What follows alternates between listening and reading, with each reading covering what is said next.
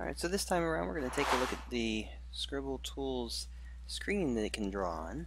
So you may have a, a time where you want just a certain spot. For instance, you may only want this bottom corner for this particular tool to be able to scribble on.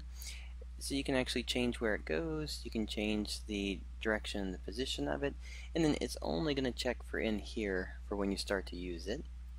Now, the same side here, let's go ahead and just, we'll set up half a screen here for it so you can see it. We'll do height the 100, and then we'll just do this side of the screen. Alright. And sides of the screen, this is relative to the camera view. So whatever you see in your camera, then you'll be able to do. So I can't draw over here, but I can draw anywhere over here until I get to the edge. Alright, so that's going to set you up so you can actually do a very specific spot that you can either scribble on or not.